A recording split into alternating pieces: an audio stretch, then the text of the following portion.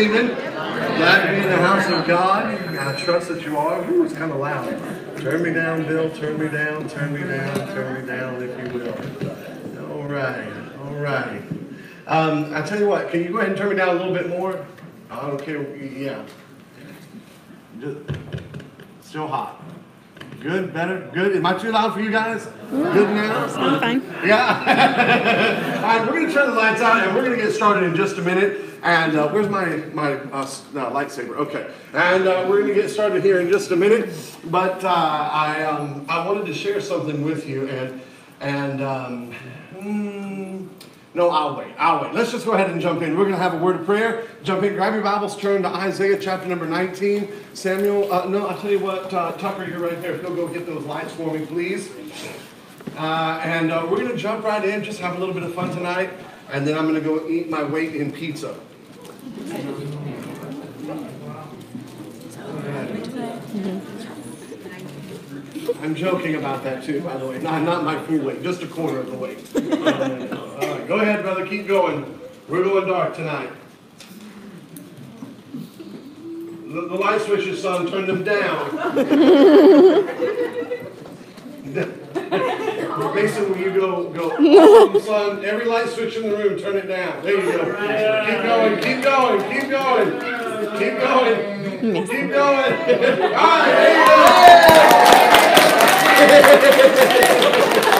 Man, what a sarcastic church you are. Good. All right, all right. I'll tell you what. Uh, I tell you what, Brother Rich, lead us in a quick word of prayer, and then uh, we're going to jump right in. Heavenly Father, we do thank you for the opportunity to be in your house tonight, Lord. I just pray now that you bless this time, give the pastor wisdom, give us ears to hear and a heart to change. In Jesus' name, amen. All right, look at uh, Isaiah chapter number 19. We're going to be talking about the pyramids. Now, when I'm talking about the pyramids, I'm specifically talking about the pyramids on the Giza plain. There are pyramids all around the world. We'll get to that in just a moment. And there are numerous pyramids in Egypt. But we're talking about a specific set of pyramids, three pyramids. The central one is the pyramid in the Giza plain. And in Isaiah chapter number 19, notice verse number, if you Isaiah 19, verse number 19. In that day shall there be an altar to the Lord in the midst of the land of Egypt, and a pillar at the border thereof to the Lord. Now, I want you to look at verse number 20 again. And it shall be for a sign, for a witness unto the Lord of hosts in the land of Egypt. They shall cry unto the Lord because of the oppressor, and he shall send them a Savior, and a great one, and he shall deliver them. Verse number 19, look at it again. There shall be an altar to the Lord in the midst of the land of Egypt, and a pillar at the border thereof to the Lord. Now, I'm going to talk to you for a few moments tonight about what I think is the monument of the gods. I don't think our thing is uh, working. Here we go. All right. Did you do that or me? You did. Oh, cool. All right. I've got a new handy dandy thing here, and uh, so we're going to try it. We're going to be talking about the monuments to the gods. Exodus, uh, Isaiah chapter number 19 said, now listen, the video, don't worry about the video. If you, I'm going to move around tonight, tonight, so just get it what you can.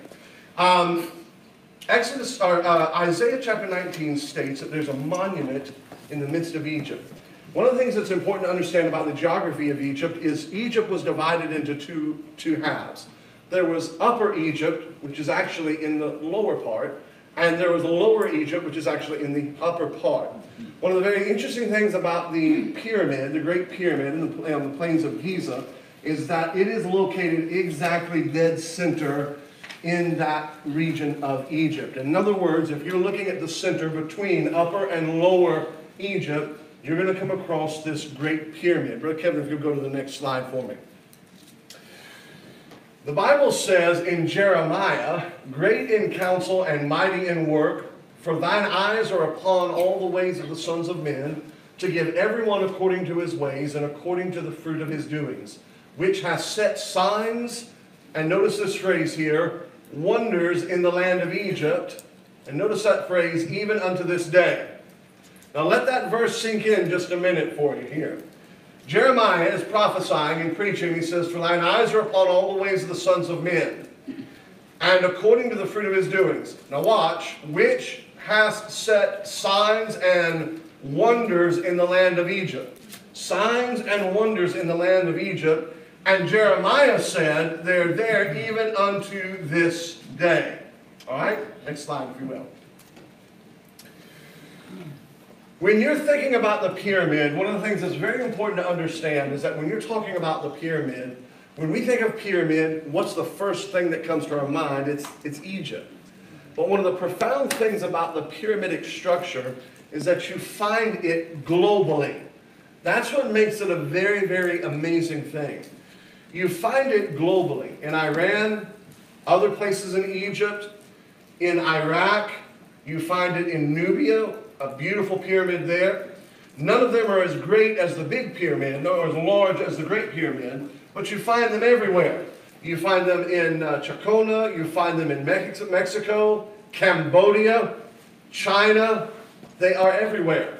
The pyramidic structure is something that is universal and to, to archaeology, which is very, very fascinating because that tells you something. That tells you that in Mexico, here, the Pyramid of the Sun, they're on the other side of the world in Egypt. And yet, when they're building their temples, or what we believe to be their temples, they're building them in exactly the same structure that the Egyptians did. It is a global phenomenon. Now, you'll find that there are pyramids around the world. I'm going to show you a couple here. This is one we were just speaking about up in Mexico. You can see, and again, you'll see in just a moment, all of these are, are much smaller than the Great Pyramid. Here is one in Peru, Guatemala. This is a fascinating one here in Bosnia.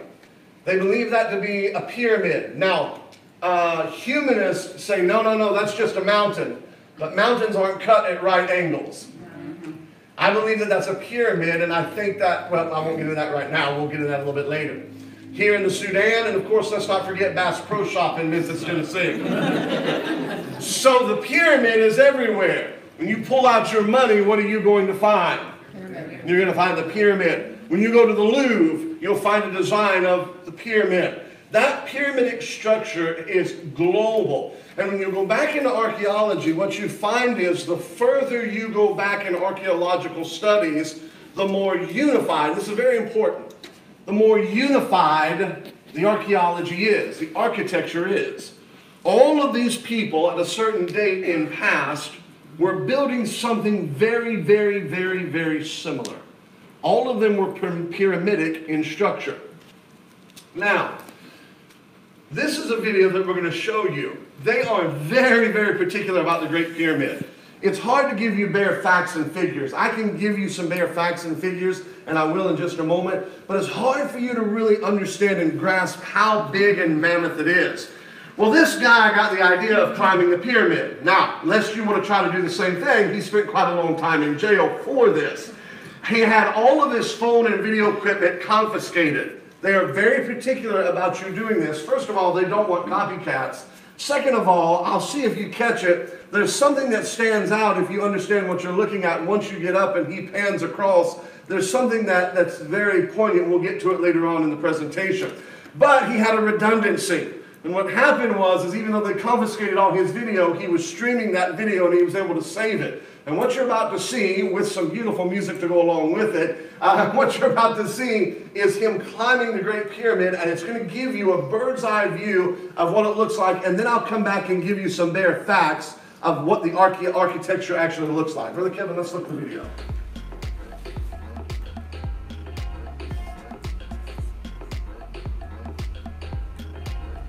You want me to mic the music for you? You're good without the music? Okay.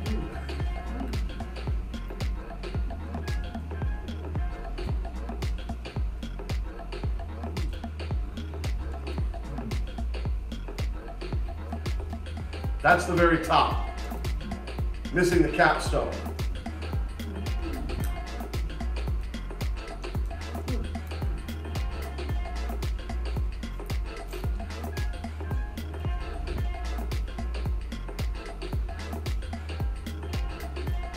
Gives you an idea of how high it is.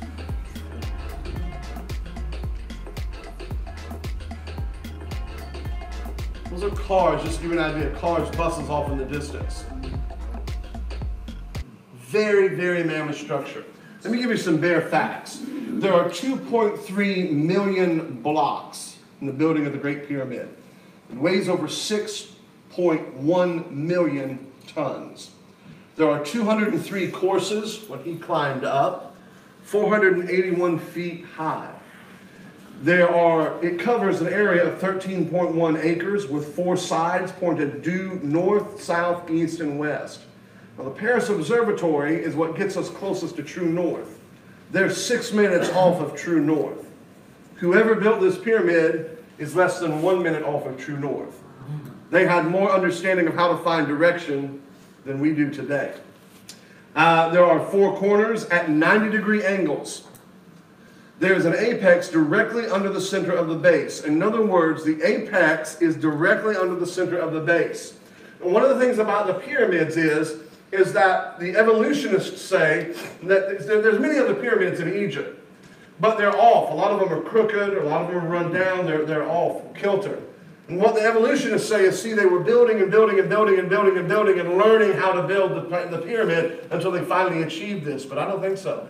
I'll explain to you what I think happened in just a few moments, but this is a unique, these three pyramids are very, very unique compared to anything else. One of the things that's interesting, did you just read, did we just read Isaiah chapter number 19? Uh-huh. Okay, there's a great book called The Great Pyramid Decoded by Raymond Capt.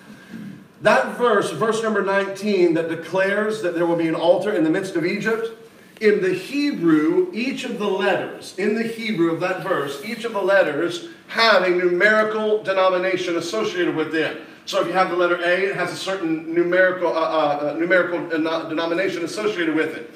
When you add up all of those numerical numbers in that verse, it comes to 5,449. I'll give you one guess at what the height of the pyramid is. 5,449 feet. Mm. It's an interesting building, a very, very interesting building, right? That's what, if you will. So that gives you just a little bit of an understanding of what's going on. Now, on the left side over here is a base schematic of the pyramid and what we know. Now, there's been recent testings, and we'll see in just a minute, that they found another void right up here in this area where my laser pointer is. There's another void area there. A void right there, too. That's a void.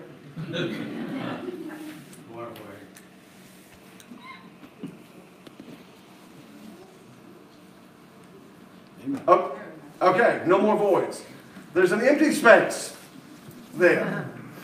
Um, but what you're looking at right here, and I'll walk you over this here on the right in just a minute, but I want you to look right here. This would be the entrance area. Now I want you to watch for just a minute because whoever built this had a profound understanding of a lot of different things. And some people believe that it might have even been someone that understood a lot about the Bible. This is the entrance where man enters in, and he immediately begins to go down. Unless you follow that path upward, you will go all the way down into this chamber, and they have not been able to plumb the depths of that. They don't know where that bottom chamber ends up. It's bottomless, so far as we know. They've never been able to find where that chamber is leading. But if instead of going down to the bottomless pit, you take the higher road, eventually you come up into what's called the Grand Gallery. In the Grand Gallery here is the Queen's Chamber. If you keep on going up, that is the King's Chamber. Okay? So up is the way to glory, down is the way to the bottomless pit. What you're looking at here is that stairway, is that wellway going into that main chamber. Now, there are a lot of air shafts, and I'll show you some schematics here in just a moment. But they were doing some research and they came across, not long ago or a while back, they came across a chamber that had a door, a doorway. What you're looking at right here are two handles. Something was on the other side of that. So they got this little fellow right here and they decided to try to go back in there and figure out what it was. I'm going to show you a little video here.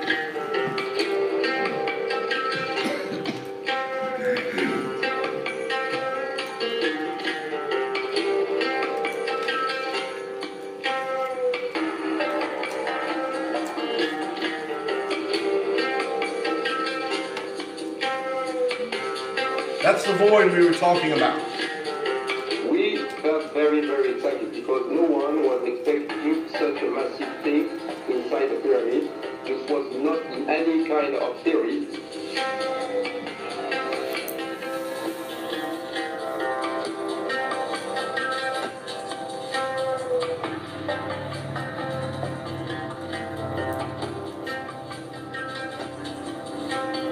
High energy kind of electron. They are able to go through.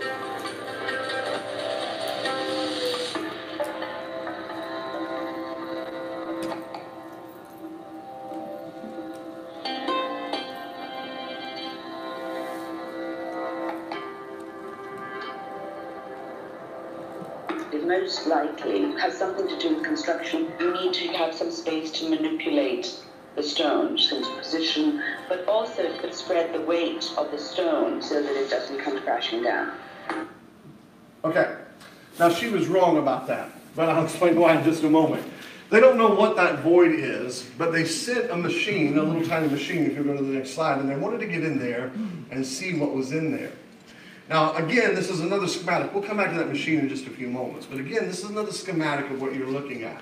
For instance, here, there's just so many things about the, the, the pyramid that don't add up to a bunch of guys in togas with elephants and sticks moving stones. Mm-hmm. Long before it ever came about, here's a stone that's hinged for a closure. Again, you can see the underworkings of what they believe are connections. And then here again, you can see the schematic as you're going up into the king's chamber and the queen's chamber. Now, it's very important that you understand what I'm about to say here. This is not a matter of opinion, this is a matter of fact. There is nothing that has ever been discovered that has ever proved that this is a tomb. Nothing. In fact, everything against it says it was not a tomb. Now, have people used it? Certainly. But any of the post writings that have been in there have been after this thing was built. Nothing about this says it was a tomb. There's no writings, there's no pharaoh, no anything like that. This thing was not designed to be a tomb. We'll talk about what it was designed to be in a little bit, but you have to see that there's a very intricate operation going on inside of this thing. Now, one of the things that's interesting that a lot of people don't understand is that when you look at the tomb and when you look or when you look at the pyramid, what they claim to be a tomb, there's a profound connection between Egypt and Israel. Look at your Bible again, Exodus chapter number nine, uh, uh, Isaiah chapter number 19, and notice what the Bible says in Isaiah 19, verse 25. Whom the Lord of hosts shall bless, saying, Blessed be Egypt, my people, and Assyria the work of my hands, and Israel mine inheritance. Egypt is his people. There's not a commentator anywhere that I know of that can give an adequate answer to what that verse means. But when you look at the schematics, what you're looking at right there is the Ark of the Covenant. And what you're looking at right there is what is called the King's Coffin. When you go into the Great Pyramid, there is this box there with no cover, granite. And it is an amazing feat of architecture and carpentry itself, masonry, I should say. That right there alone, that box right there alone is beyond anything that the Egyptians of the time were capable of doing. The edges, the angular. See, the Egyptians had no angular measure, measurements at this time. So for them to be able to cut at these angles is far beyond what they should have been able to do. But there was no top, there was no notation here in the king's chamber. There's nothing about a king being buried there. There's just an empty box. Well, guess what fits in there? That's the schematic. That's what the Ark of the Covenant would look like. Let's go to the next slide. That's that box. Now, of course, Tomb Raiders and everybody else have had their go at it. But it's a very interesting box, isn't it? Now, the scientists say, well, that's the tomb where a mummy must have been, but there's no markings in there whatsoever. There's nothing that tells us that it was a tomb. Now, what does that look like to you right there? Does that look like the Ark of the Covenant? Does that look like a bunch of Jews carrying the Ark of the Covenant? That's an Egyptian hieroglyphic. Something was going on. There has been a profound connection. Where did Abraham go? Into Egypt. Where did the children of Israel go? Into Egypt. The Bible says that Moses was a mighty man in Egypt. Moses was in line to be a prince in Egypt and maybe even be a pharaoh. There's a profound connection going on. And whoever built that long before this came along, is that the first time we ever see an Ark of the Covenant? Or was there something there before? Next slide. So, what you're going to see here, well, I'll let it play and I'll come back and explain. Go ahead and play. Queen's Chamber, which lays within the Great Pyramid of Khufu, more commonly known as Cheops, has astonished, shocked, and mystified Egyptologists since its mysterious existence was discovered. The intrigue into this elusive chamber, along with its mysterious adjacent shafts, comes as no surprise once one understands the anomalous characteristics of their construction. That's the machine As going we in have already covered before, massive cover-ups have been suspected as taking place surrounding this mysterious chamber since its discovery. Strange shaft tunnels, set at a 45-degree incline, no larger than 20 centimeters in diameter, run away from this room, and no one seems to know why. Not only would these ancient shafts require being hermetically sealed during the pyramid's construction to stop them from becoming blocked, but the excruciating effort that would have gone into making them becomes all the more of a confusing undertaking once you realize they were not even connected to the chamber, but hidden 40 centimeters away from entering the tomb within the walls, completely invisible from the inside of the burial room located deep within the structure. Cheops, noticeably being the only pyramid to have ever been constructed with such shafts, making their addition a popular mystery within Egyptian history. One leads out from the subterranean chamber, two lead out from a termination point some 40 centimeters from the wall of the so-called Queen's Chamber, or now popularly suspected to be that of an alien tomb among ancient alien specialists, and two from the King's Chamber above. Here is where our story becomes interesting. Rudolf Gantenbrink, famous for actually discovering the blocking door within one of the Queen's chamber shafts, which could lead to an as yet undisclosed tomb, has also made other curious discoveries within the Great Pyramid. Discoveries which could only be explained by modern covert explorations of tunnels that were supposedly to that point unexplored. Gantenbrink's cache being but one example of these mysterious finds, deep within the tunnel systems in the royal chamber, at a 90 degree turn going vertically upwards, a pile of papers, possibly wrapped artifacts, weighed down with a small piece of timber or stone, possibly another artifact, was discovered by Gantenbrink's robot. Also, during initial location attempts to find access tunnels leading to the Queen's chamber, several blocking stones required removal. After the removal of the seventh block, a modern era hexagonal steel rods were discovered discarded upon the tunnel's floor. Each section of the hexagonal steel rods measures 2.7 meters in length and was fitted with a round socket, which allowed them to be joined to the next section. In one of the lower shafts in 1872, Waynman Dixon found three more objects, which could be considered proof of prior covert exploration of the mysterious northern shafts. A copper grappling hook, about 5 centimeters in length, accompanied by a small gray-green stone ball and a broken off piece of a square wooden slat or rod, about 13 centimeters long. The wood would today be the most intriguing of his finds. These artifacts, suspected to be remnants of the grave robber's tools, could have been carbon dated, yet this fragment is the only one of the three to now be missing out of the London Museum's collection. Unfortunately, in his writings, Dixon doesn't say in which of the two lower shafts he actually found the objects, but he mentions them in connection with the northern one. Not only did these obviously highly intelligent people leave evidence of how they must have gotten in, but also traces upon the previous untouched ancient walls of the shafts within Cheops, clearly left by their previous robotic technologies. Other square metal rods have been recovered, along with other artifacts discarded within some tunnel systems deep within the ancient structures, meaning these guys got to the treasures way before we did. Interestingly, reported evidence of covert excavations continues to this day. Heavy-duty electrical supplies discreetly running into and trailing deep into the pyramids have been noticed and photographed by some of the more astute tourists. Witnesses to the sounds of heavy machinery being used beneath the site is also frequently reported, yet rarely followed up. It seems it's not a question of whether brilliant minds have achieved the seemingly impossible in penetrating these secret layers, but more a question of how and what astonishing finds have possibly been kept concealed. There's something in there that they want, that they're looking for.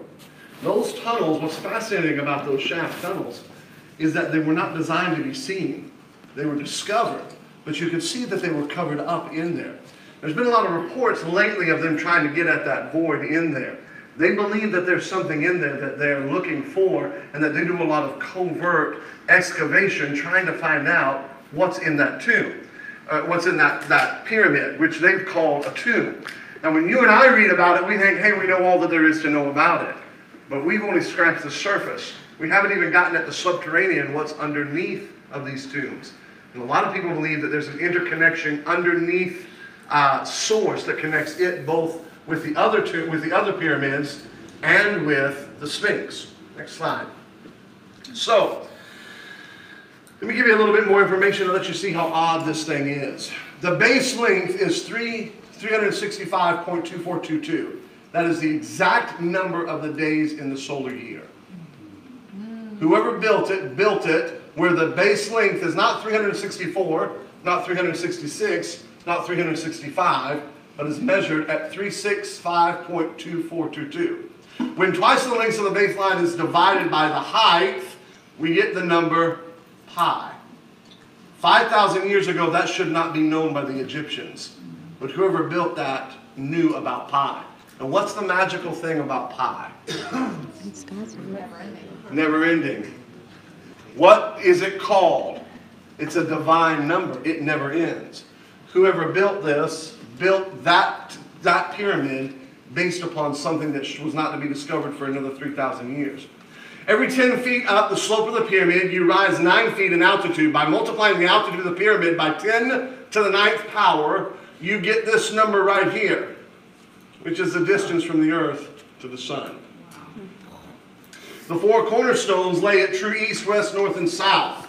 So when the sun crosses the equinox, no shadow is cast anywhere on all sides of it. In other words, it is a brilliant, brilliant piece of architecture that we'd have a hard time doing today with all of our technology. But you're told that whoever built that was guys in togas with rocks, pulleys, sand, and a whole lot of time on their hands. Next slide. So, pyramid positioning in the world is very unique. It is at the center of the land, known habitable land masses in the world. Whoever built this great pyramid knew that it was at the center of the habitable land masses. You can see it there and again there. Next one. Also, the Great Pyramid goes, I'm not going to get into these details here, but the, uh, but the equator. Here, whoever built the pyramid understood the mathematical concept of how to square the circle. The Bible actually talks about the foundations of the earth. And so you can see that there is a profound, profound um, understanding of mathematics, geography going on. Now, what's really fascinating is this particular slide. The Great Pyramid is positioned in a way that is far beyond what they should have astronomically known. Their astrology was amazing. Their positioning in time, their positioning in the equinox and the stars was beyond anything that they should have known. And what's really fascinating about it is one of the things that stands out is that everything about that is designed for a circular plane and a domed atmosphere. Circular plane, a domed atmosphere. Circular plane, domed atmosphere. I have people ask me all the time, Preacher, what do you believe about the nature of the earth? I believe exactly what David in the Bible believed. Next slide. Say, what is that, preacher? You have to read the Bible. All right. For those of you that are in medicine, One of the things that's very interesting is the pituitary gland and this pineal gland. There's a guy by the name of Hunter Thompson. Have you ever heard of DMT, uh, the drug DMT? There is a guy by the name of Hunter Thompson. There's a whole world of cult and story behind DMT. But when you start looking at this diagram, you'll find that that pyramid matches up to a lot of different things that are out there. Next slide, if you will. Now, the question is, what are they, what is the Great Pyramid doing? What is its design? Well, we know it's not a tomb. Nobody has ever been entombed in there. There's no hieroglyphics of any tomb. There's no chamber that shows any tomb. So what was it? Some people believe that it was a stargate in the sense of, uh, it was a stargate in the sense of opening a doorway to another world, able to get to another world. What's fascinating about it is, is that the pharaohs believed that when they died, they were going to journey to the stars, out into the stars. Have you ever seen the movie years ago that came out with Kurt Russell and Stargate and the Egyptian connection that they have there? Some people believe that the energy, they were somehow able to open up a Stargate, which is sort of interesting, although you have this global pyramidic thing going on. Some people believe that it was burial markers for the underworld. Now, before the flood, there were two kinds of groups on this earth. There were angelic beings, sons of God, but there were also demigods. Some people believe that these pyramids were the burial markers for those Herculean demigods. Other people believe that it was a way in which you were able to communicate interdimensionally. Now we're going to go off on the deep end here for just a minute. Can you, can you go with me for just a second? Okay, so there is a book called The Stargate Conspiracy. I'm not going to get into all the details of it. I'm not going to read in the great details of it. But the Stargate conspiracy talks about a true story. How many of you ever heard, uh, I've watched Star Trek, Gene Roddenberry. There was a cult, and it has been around for years and years and years and years, that believed that they were able to communicate with a group of interdimensional beings, and Gene Roddenberry is one of them. I mean, have you ever been amazed at how cutting edge Star Trek was? The ability to flip phone, the touch pads, all the different things, the Federation, One World Federation. Well, Gene Roddenberry and these other guys were part of a cult that believed that they were in contact with a group that called themselves the Nine. The Nine. The Nine said that they were interdimensional beings from another dimension. And they were the ones that gave the Egyptians and others the ability and understanding to know how to build these because it was in these places where they were able to meet and to communicate. Now, what's fascinating about that terminology, the nine, is that in Exodus chapter number 12, the Bible said that he would judge the nation of Egypt when the death angel came over, but he also said he would judge who? The gods. Grab your Bible real quick, turn to the book of Exodus. I think it's Exodus chapter 12, verse 12. We'll look at it real quick.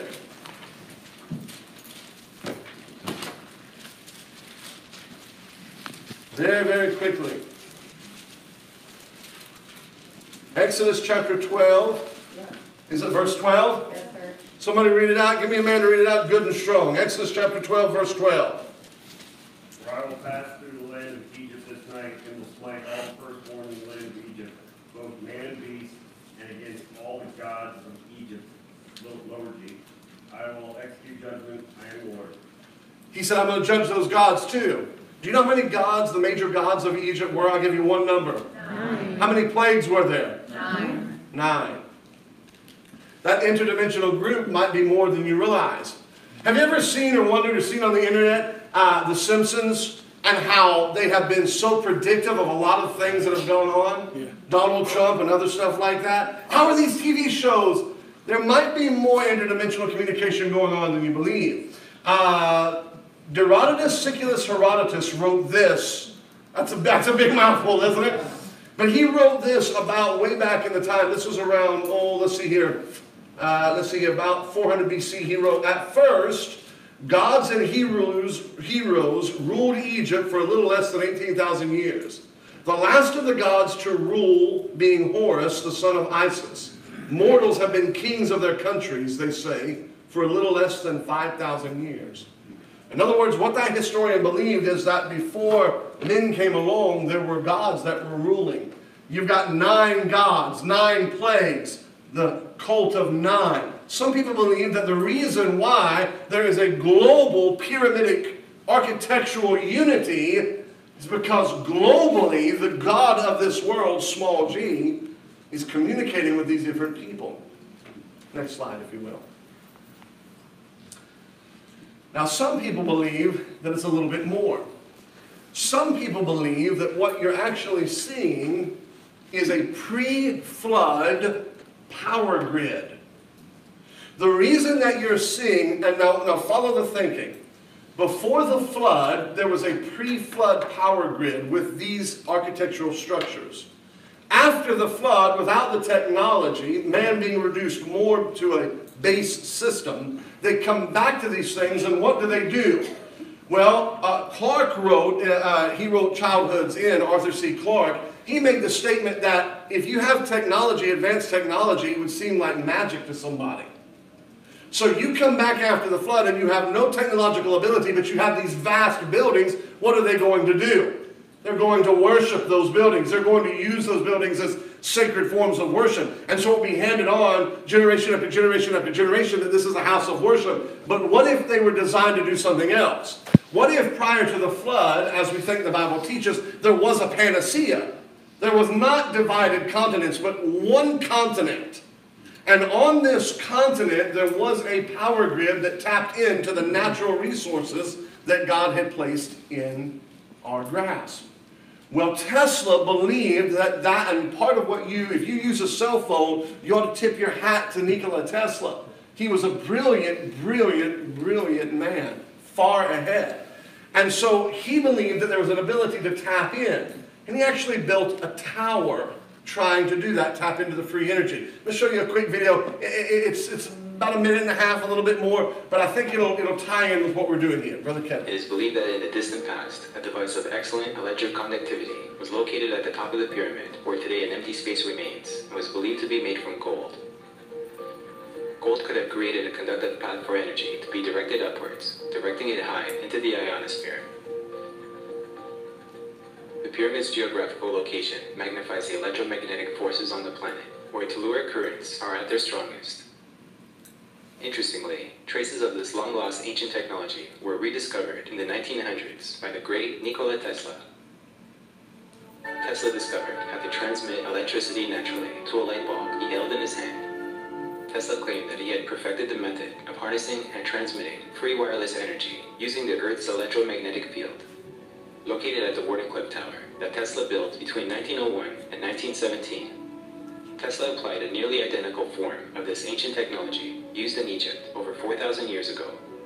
Tesla's tower was also believed to have been built upon aquifers, which means that the electric technology used by Tesla is nearly identical to that applied in the construction of the Great Pyramid. Both the Great Pyramid of Giza and Tesla's magnificent Wardenclyffe Tower were systems that generated negative ions and were capable of transmitting them without the need for electric cables. Completely free and wireless energy that powered other electrical components through vast distances. It appears that the ancient Egyptians were not the only ones to have understood the benefits of this ancient technology. Okay, so we're going to stop there. Do you understand what they're getting at when they're, when they're making that? What they're talking about is the possibility that these pyramidic structures were actually power plants, that they were designed to be used and that they were left, they're not saying it, but I believe that it's possible, that they were leftover technology pre-flood. Now when you think about before the flood, you tend to watch TV and you think about guys in togas with a wooden mallet walking around trying to build a boat in their backyard. But that's not what they were. The average lifespan of a man or a woman prior to the flood was 800 years. Now in 200 years, 1776 to 1976, man was able to fake a moon landing. In 200 years. In 200 years, man was able to go from riding a horse, sending a telegraph, to talking on the phone to instantaneously video in 200 years. And that was based on prior technology. What do you think a man was able to accomplish if he could live 800 years? Minimal sickness, minimal damage, minimal ecological problems whatsoever. Imagine what he was able to accomplish. Now, Nikola Tesla, much of his discovery, there's a whole other thing that I could do, and you'd have to just come over to the house and I'd have to tell you the story about him. But he was railroaded out. He is the real source of what you and I have today. He was railroaded out, and I believe he was right. I believe that God created this world to be self sustaining.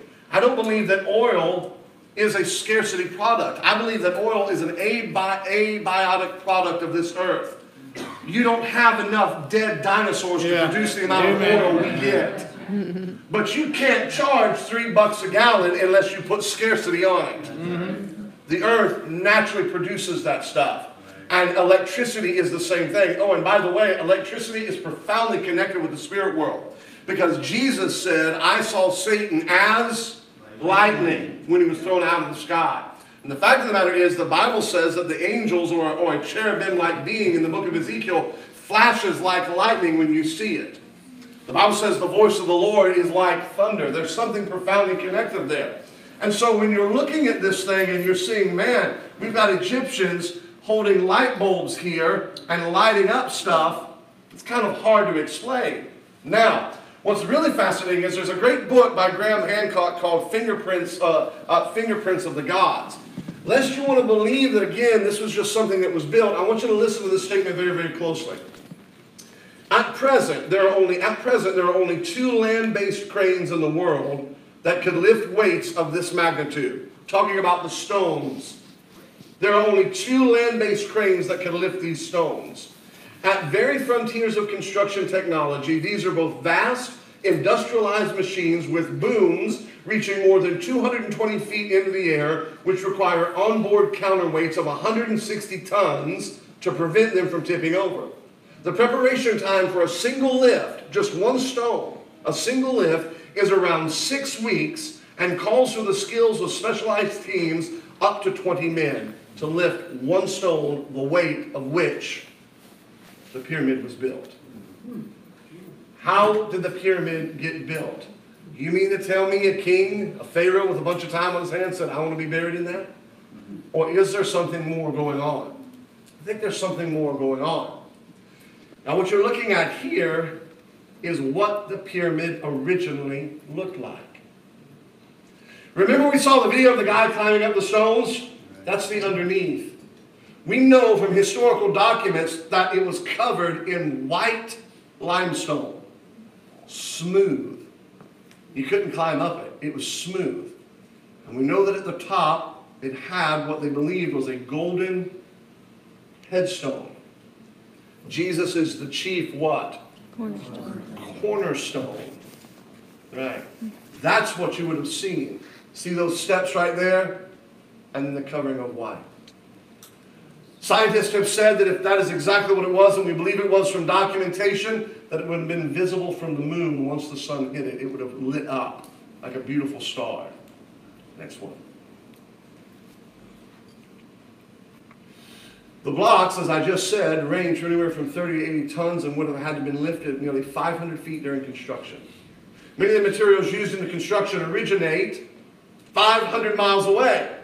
That's very important when somebody says, hey, hey, hey, they, they probably did it right there. That's fine. It's one thing. Even if you want to say, well, I believe they managed to build there. And they didn't get the stones there.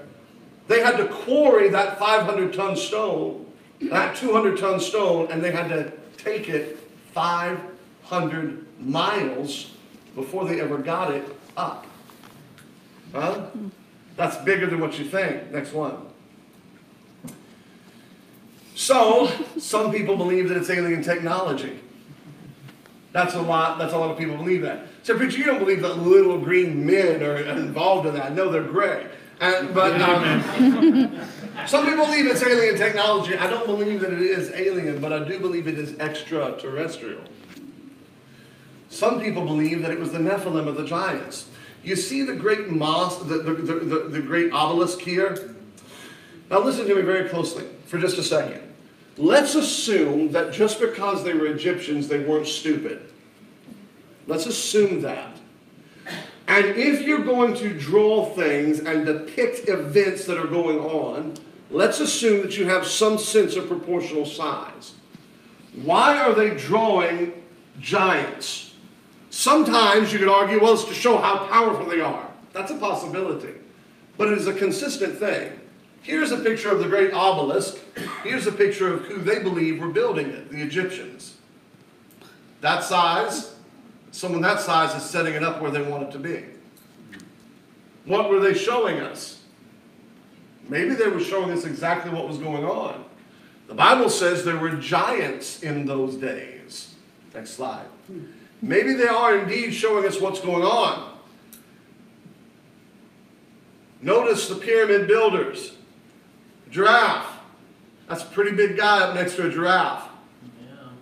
The gods that they depict. You see that Pharaoh in the middle, that human right there where the red dot is? These are the gods that that human worshipped. So when the Bible says that the Israelis, the Jews in the promised land were scared because they appeared to be in the eyes as grasshoppers, is that biblical hyperbole? Were they exaggerating? Or does archaeology testify to the truth of the Bible? That's right. Evidence staring us in the face, Patrick Heron, who is by no means a Bible believer per se, he says evidence staring us in the face suggests that an incredibly advanced civilization of beings with a fascination for astronomical matters, we just talked about that, didn't we? And possessing great strength, well, that would help you in build, and mathematical abilities were the builders. I submit to you that the sons of God qualify for each one of those. Mm-hmm. They came from the stars, they would have known about that. They had great strength. That's why closer and closer we get to the Lord, the more and more and more you're going to see DC and Marvel movies. They're prepping this world That's right. for the gods. There's a great book called Our Gods Wear Spandex. Go to read that. All right, next slide, if you will. Only one group can qualify as potential candidates the primeval gods of prehistory. A cast of sophisticated, super intelligent, supernatural beings, men who were of a divine background and whose former abode was of celestial nature. Spirit men who, in the course of ancient time, changed and became wicked and evil. Does that sound like anything you've come across in the Bible? Mm-hmm. These are the architects and builders, the founders of the religious rites and the original high priest of Egyptian antiquity. And that's why your Egyptians, when they wanted to pick their gods, there's humans, there's their gods. There's him, and there's the, there's the humans, there's our God. If it's once or twice, it's coincidence. But over and over and over, they're telling you something. And it isn't what humanism says. They're saying, this is who we were worshiping. And your Bible tells you that in Genesis 6. Everybody still with me? Mm-hmm. The pyramid text says, this is very interesting. Very, very interesting. The pyramid text says, this is a quote from one of the pyramid texts. Thy sister Isis cometh unto thee, rejoicing in her love for thee. Thou weddest her upon thee, thy issue entereth into her, and she becometh great with child. The star Sept, which is Sirius, the dog star. Horus, Sept, cometh forth from thee in the form of Horus, dweller. There are two stars there, but you can't know that by eyesight. The only way that you can know that there are two stars in that system is you have to have a super high powered telescope to be able to figure that mm. out. But whoever wrote that text in Egyptian knew. Graham Hancock, in his book Fingerprints of the Gods, said, How could the scribes who wrote the pyramid text possibly obtain the information that Sirius was two stars, not one? When you look up in the sky and you see it, you think it's one, unless you have a very, very powerful telescope. Did the Egyptians have a very powerful telescope? Or were the Egyptians worshiping somebody who had been to that star, who knew what the stars were like, and was telling them, and maybe even writing the text for them? If Satan is the great imitator, and God has a church, does Satan have a church? Yeah. If God has scriptures, does Satan write scriptures? Maybe he does. Next one, if you will. Very, very quickly, just a couple of ones. Much of the, we won't get into it, but you'll find, I'm just gonna, I'm not even gonna go into reading all this, but you'll find here, Egyptian God carrying that. Here's the same thing in a Catholic relic. There's a profound connection going on. I'm not going to get into this. I already did just a little bit. There are your nine gods Ra, Shu, Tefnut, Geb, Nut, Osiris, Isis, Nephthys, and Set. These were the gods. And before you ever even realized it, God already told you about it in Exodus 12 12 that he was going to judge. Next one, if you will. Let me just give you this links to prophecy. You ready? We're going to go through it real quick.